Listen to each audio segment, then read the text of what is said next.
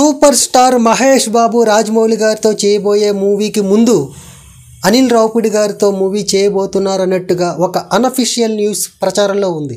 ఇదే అంశంపై డిహెచ్ఎఫ్ఎం నందగోపాల్ అభిప్రాయం తీసుకుందాం. ఏంటమ్మా న్యూస్ మహేష్ అన్న రాజమౌళి గారితో చేయబోయే మూవీకి ముందు వేరొకరితో మరో మూవీ చేస్తున్నారా? This is completely baseless false news fake news Guntur Kaaram movie తర్వాత ఖాళీ దొరికితే రాజమౌళి గారితో చేయబోయే మూవీకి సంబంధించిన ప్రీ ప్రొడక్షన్కి ప్రిపేర్ అవుతాడు కానీ మధ్యలో వేరొకరితో మూవీయా?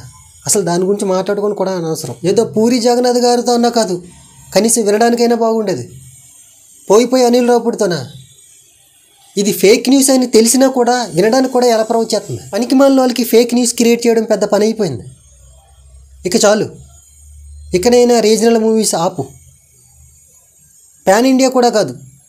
మ్యాక్సిమం పాన్ వరల్డ్ మూవీస్ మాత్రమే మహేష్ అన్న చేయాలని ఒక అభిమానిగా నా గుండెల్లోంచి వస్తున్న అభిప్రాయం ఇది. ఇలాంటివి మనం మనం చూసి తెలుసుకోవడం కాదు. పలానా నందగోపాలైన వాడు ఇలా మాట్లాడుతున్నాడని మహేష్ అన్నకు తెలిస్తే హ్యాపీగా ఫీల్ అవుతా.